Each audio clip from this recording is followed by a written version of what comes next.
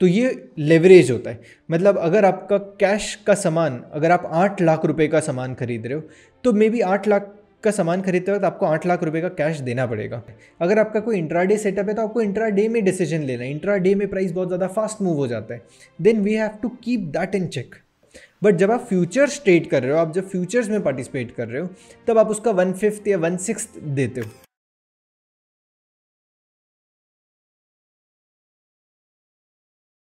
इस वीडियो में मैं डिस्कस करने वाला हूँ छः lessons for option trading option trading काफ़ी पॉपुलर है और हर कोई ऑप्शन ट्रेडिंग करना चाहता है। बट हमें ये मानना ज़रूरी है कि option trading is one of the difficult profession to be in क्योंकि यहाँ पे अपने सेट ऑफ़ खुद सेट ऑफ़ डिफ़िकल्टीज़ हैं। खुद की ट्रेडिंग साइकोलॉजी है। मार्केट्स बहुत ज़्यादा फास्ट मूव करते हैं तो उसके भी खुद के चैलेंजेस हैं। तो ऑप्शन ट्रेडिंग जब हम कर रहे हैं, तब हमारे पास एक रोबस्ट सिस्टम होना ज़रूरी है। उसके साथ में अगर ये छः लेसन अगर आपको समझ में आते हैं that will help you fine tune your trading system fine tune your journey with option trading lesson one आपको ऑप्शंस तभी ट्रेड करने चाहिए जब आप मार्केट्स के बारे में अच्छे से सारी चीज़ें जानते हैं। आपको पता है कि मार्केट्स में ट्रेंड कैसे एनालाइज करना है। कौन से दिन है जब मार्केट्स नॉन ट्रेंडिंग होते हैं? कौन से दिन मार्केट्स ट्रेंडिंग होते हैं? कब कौन सा इंस्ट्रूमेंट ट्रेंड में रहता है, ट्रेंडिंग रहता है कुछ महीनों तक या कुछ क्वार्टर्स तक या तो कुछ सालों तक। ये इवेल्यूएट करना अगर आ जाता है, तब हम ऑप्शन ट्रेडिंग की शुरुआत कर सकते हैं। बट सबसे पहले ऑप्शन ट्रेडिंग से पहले मार्केट्स कैसे चलते हैं, वो समझना बहुत ज़्यादा ज़रूरी है कि कितने तरीके के कंपनीज़ इसमें ट्रेड करती हैं मार्केट कैपिटलाइजेशन कैसे कैलकुलेट होता है ऑप्शंस कैसे ट्रेड होते हैं ऑप्शंस में उसके बाकी के ग्रीक्स और वो सारे फैक्टर्स क्या हैं तो जब तक हमें मार्केट्स के बारे में सब कुछ ना पता चले, या हमें ये फिगर आउट नहीं हो रहा है कि एक स्टॉक है, क्योंकि आप जब हम ऑप्शन ट्रेड करते हैं, तब हमारे पास मल्टीपल एवेन्यूज़ हैं। हम इंडेक्स में ट्रेड कर सकते हैं, हम इंडेक्स ऑप्शंस में ट्रेड कर सकते हैं, हम स्टॉक ऑप्शंस में ट्रेड कर सकते हैं। अगर हम इंडेक्स ऑप्शंस में ट्रेड कर रहे हैं, तभी भी हमें पता होना चाहिए कि आज वो इंडेक्स ऊपर जाएगा, नीचे जाएगा, या कहीं नहीं जाएगा साइडवेज रहेगा, या कुछ दिनों तक ऊपर जाने वाला है। उसके साथ साथ में अगर हम स्टॉक ऑप्शन ट्रेड कर रहे हैं तो हमें ये पता होना चाहिए कि वो स्टॉक कितने परसेंटेज की मूवमेंट देता है दस दिन में या पंद्रह दिन में या कि टोटल एग्रीगेट रिटर्न्स क्या वो स्टॉक के होते हैं for a for a monthly period क्या वो हाई बीटा स्टॉक है या लो बीटा स्टॉक है? अगर हाई बीटा स्टॉक है तो ज़्यादा वोलेटाइल होगा। ज़्यादा वोलेटाइल होगा तो ऑप्शन ट्रेडिंग में उसमें प्रीमियम भी बहुत ज़्यादा फास्ट ऊपर भी जा सकता है, नीचे भी जा सकता है। तो क्योंकि ऑप्शंस जब हम ट्रेड करते हैं, तब उसके अंडरलाइन में बहुत ज़्यादा वैल्यू होना चाहिए। अंडरलाइन में वैल्यू होना चाहिए मतलब अंडरलाइन बहुत ज़्यादा फास्ट मूव करना चाहिए, जिससे ऑप्शंस में पैसा बन पाए। सो options trading is a difficult profession because it requires few layers of understanding about the markets. कि आप पहले मार्केट्स को समझो, कितने तरीके के स्टॉक्स हैं वो समझो इंडेक्स कैसे बनता है वो समझो। इंडेक्स में हैवी वेट क्या होते हैं? इंडेक्स का कॉम्पोजिशन क्या है? वेटेज क्या है? कौन से स्टॉक का कितना वेटेज है? वो समझो। उसके बाद आप ऑप्शन ट्रेडिंग में वेंचर आउट कर सकते हो। So first to have a very depth understanding of markets कि मार्केट्स इन जनरल है क्या कैसे ट्रेड होते हैं? सो so, सबसे पहला लेसन ये है कि पहले मार्केट्स को समझो उस जिससे पहले आप व्हीकल को डिसाइड कर रहे हो।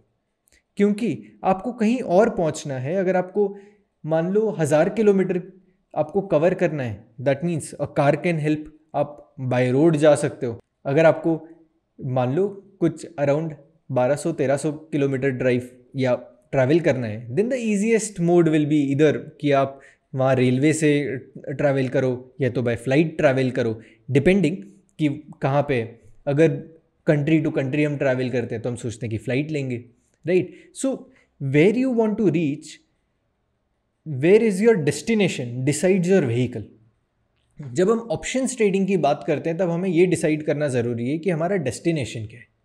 डेस्टिनेशन के हिसाब से आपको डिसाइड करना चाहिए कि whether you want to trade option और not so having a core understanding of the markets is the first step अगर आप ये वीडियो अब तक देख रहे हैं तो आई एम श्योर कि आपको ऑप्शन ट्रेडिंग में इंटरेस्ट है।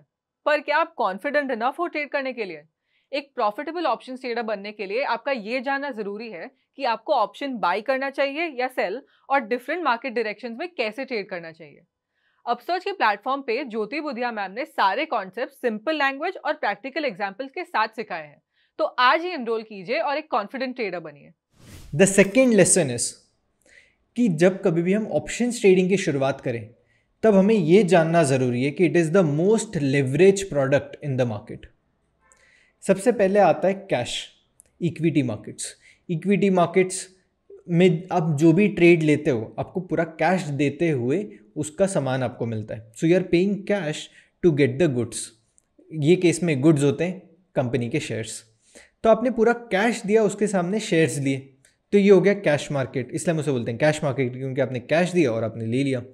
अब इसका एक होलसेल मार्केट भी है। मैं उसको एक थोड़ा ईजीएस्ट वे में आपको समझाने की कोशिश कर रहा हूँ। क्योंकि अब इसका, ये शेयर्स का एक होलसेल मार्केट है कि जहाँ पे आपको कुछ थोड़ा सा वैल्यू देते हुए इतने बड़े जो भी क्वांटिटी है उसको खरीद सकते हो। जिसको हम बोलते हैं मार्जिन से आप कोई चीज़ खरीद रहे हो। That is futures market futures market क्या है? कि आपको लेवरेज पे आपको कैश का सामान मिल रहा है बट लेवरेज के साथ। और एक आप उसके साथ एक कॉन्ट्रैक्ट कर रहे हो कि जब भी भी एक्सपायरी आ रही है, उस एक्सपायरी के दिन पे आप वो सामान खरीदोगे या बेचोगे, जिस तरीके से आपने वो फ्यूचर को लॉन्ग किया है या शॉर्ट किया है। So again it's an obligation आप एक कॉन्ट्रैक्ट में साइन कर रहे हो but it is as good as you have purchase your sold दो shares at the current market price तो ये लेवरेज होता है। मतलब अगर आपका कैश का सामान, अगर आप आठ लाख रुपए का सामान खरीद रहे हो तो मे बी आठ लाख का सामान खरीदते वक्त आपको आठ लाख रुपए का कैश देना पड़ेगा। बट जब आप फ्यूचर्स ट्रेड कर रहे हो, आप जब फ्यूचर्स में पार्टिसिपेट कर रहे हो, तब आप उसका वन फिफ्थ या वन सिक्स देते हो। तो जब आठ लाख का सामान आप खरीद रहे हो तो मे बी आप एक लाख रुपए का मार्जिन दे रहे हो या डेढ़ लाख रुपए का मार्जिन दे रहे हो। इसका मतलब आप डेढ़ लाख रुपए में आठ लाख की क्वांटिटी का सामान खरीद रहे हो। अब ये उसको हम बोलते हैं कि this is first derivative of the underline which is cash क्योंकि आपको वो फ़र्स्ट डेरिवेटिव हम बोल रहे हैं।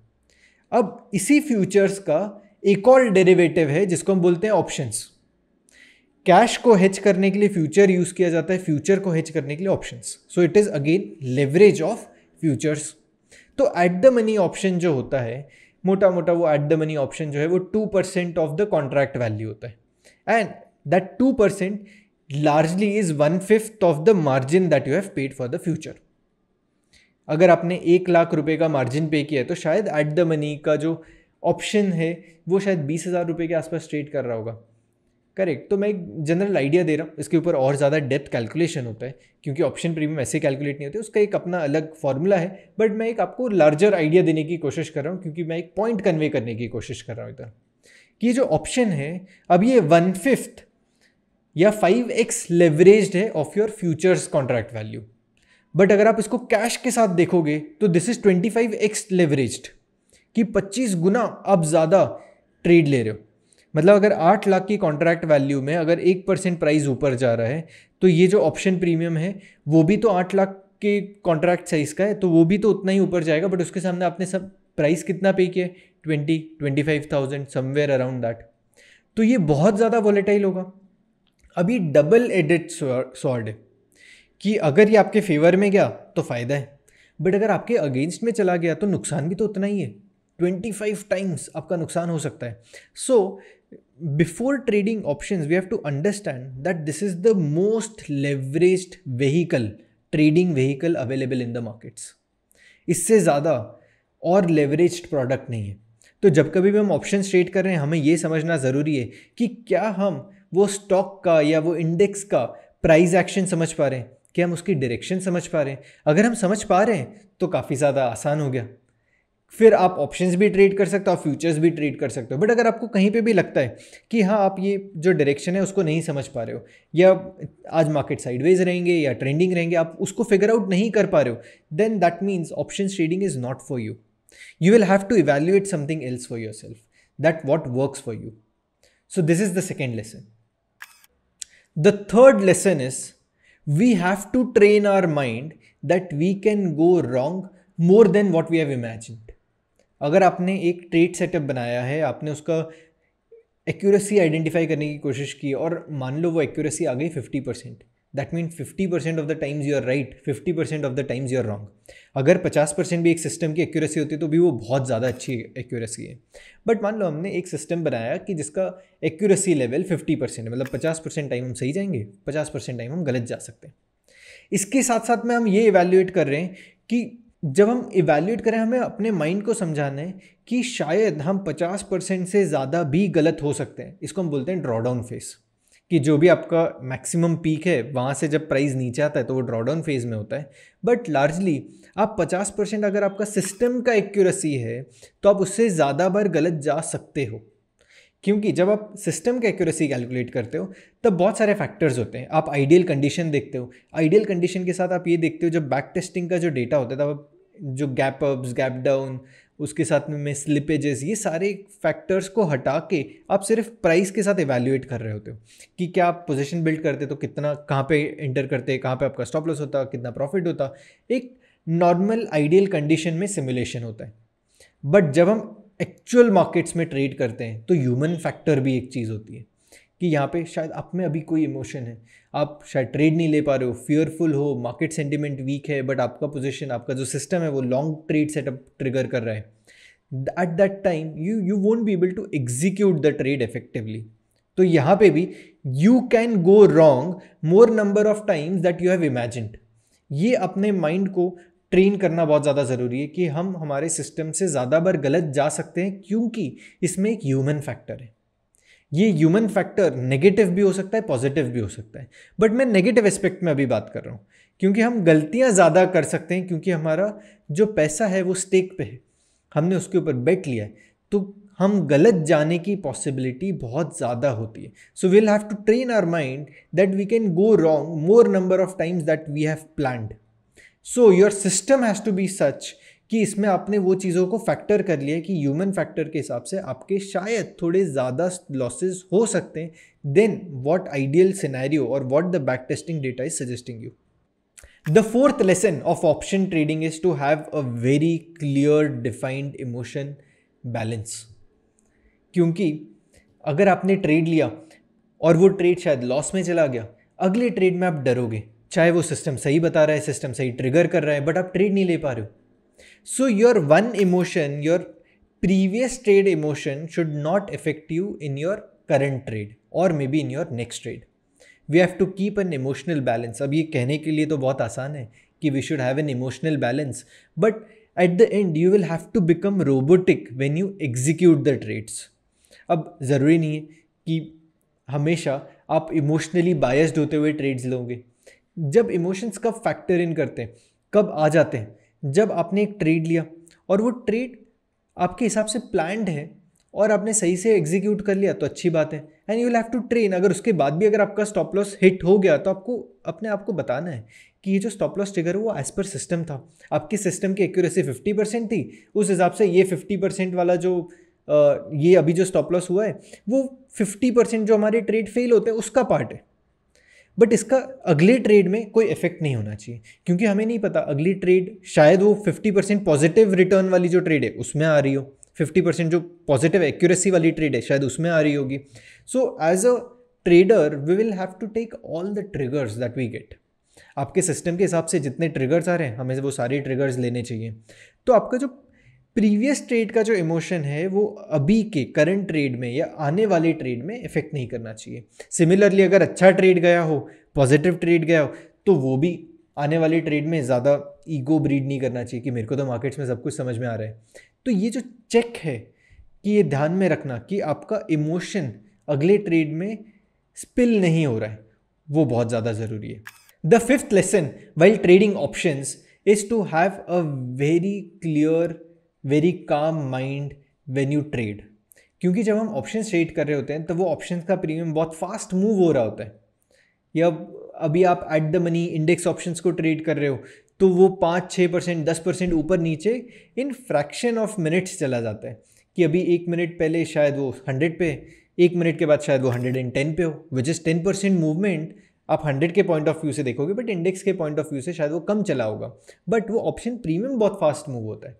वो जितना फास्ट मूव होता है, आप में क्लैरिटी ऑफ़ थॉट उतना ज़्यादा रिक्वायर्ड है when you trade option so clarity of mind is very very important when you trade option अब, जब कभी भी आप इमोशनली एक अच्छे स्टेट में नहीं है, तब आपको ऑप्शन ट्रेड नहीं करना चाहिए। चाहे कोई चीज़ है जिसकी वजह से आप बहुत ज़्यादा अभी थके हुए हो may be you are mentally you have a fatigue of taking decisions on that day you should not trade options क्योंकि ये ऑप्शंस बहुत ज़्यादा फास्ट मूव होते हैं और आपको क्विक डिसीज़न लेना होता है। अगर आपका कोई इंट्राडे सेटअप है तो आपको इंट्राडे में डिसीज़न लेना है। इंट्राडे में प्राइस बहुत ज़्यादा फास्ट मूव हो जाता है। Then we have to keep that in check so अगर आप इमोशनली वो स्टेट में नहीं हो कि जहाँ पे आप डिसीज़न मेकिंग फास्ट कर सकते हो, उस दिन आपको ऑप्शन ट्रेडिंग अवॉइड करनी चाहिए। मे बी मार्केट्स तो रोज ओपन है। आज नहीं तो कल आ जाने कल आ जाएँगे।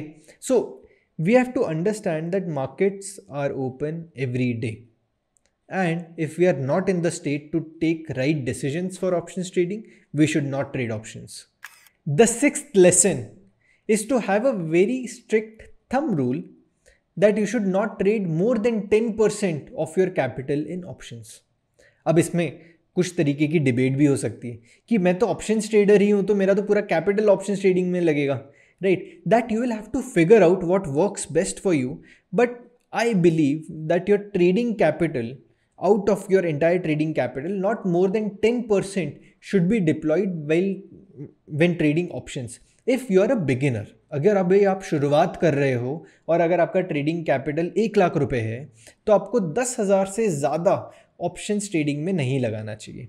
चाहे इससे शायद और कम लगाओ तो बेटर है बट इससे ज़्यादा नहीं लगाना है। That's the max limit that you should have if you are learning how to trade options ये ये जो थम रूल है, ये आपको हेल्प करेगा आपका रिस्क रिवॉर्ड आपका ओवरऑल कैपिटल को मैनेज करने के लिए। Because if you are trading capital is one lakh rupees and out of which ten thousand you are risking to trade option and assuming कि जो दस हज़ार रुपये अब आप जो टेन परसेंट है उसको ट्रेड कर रहे हो, वो ज़ीरो भी हो गया। Still you have ninety thousand with you which is ninety percent of your trading capital to take another bet ऐसा नहीं होना चाहिए कि आप इतना बड़ा बेट साइज़ ले रहे हो कि अगर शायद वो गलत हो गया तो आप वापस से मार्केट में पार्टिसिपेट ही नहीं कर पा रहे हो। You should have enough capital and enough system to sustain your self in the game क्योंकि अगर आपके पास चिप्स ही खत्म हो गए बेट करने के लिए तो अगली बेट कैसे करोगे? So the more lesser capital that you allocate for option trading, better it is. अब ये ऑप्शन बाइंग में 10 परसेंट का रूल काम में करता है काम में आता है बट जब हम ऑप्शन सेलिंग की बात करते हैं वहाँ पे नेचुरली वो जिस तरीके से वो इंस्ट्रूमेंट बना हुआ है ऑप्शन सेलिंग अपने आप में आप कम रिस्क ही ले रहे हो क्योंकि आप अगर इंडेक्स ऑप्शन को शॉर्ट करते हो तो आपका मार्जिन लगता है somewhere between one lakh ten thousand to one lakh thirty thousand depending on the strike price on the expiry India VIX and everything but largely इसी के आसपास वो मूव हो रहा होता है। अब इसमें बाई डिफ़ॉल्ट आप जो ऑप्शन प्रीमियम को शॉर्ट कर रहे हो, उसके सामने आपने जो मार्जिन दिया हुआ है, वो अपने आप में ज़्यादा है। तो ये अपने आप में सारी चीज़ों को चेक में रख देता है if you are doing option selling but when you do option buying it's very important to have a thumb rule कि इससे ज़्यादा का आप ऑप्शन बेट नहीं ले रहे हो। So this are the six lessons that you should know before trading options मुझे ये बताओ कि आपको कौन सा लेसन बहुत अच्छा लगा और इससे आपको कुछ इंसाइट्स मिले। मुझे कमेंट सेक्शन में बताओ and I'll see you in my next video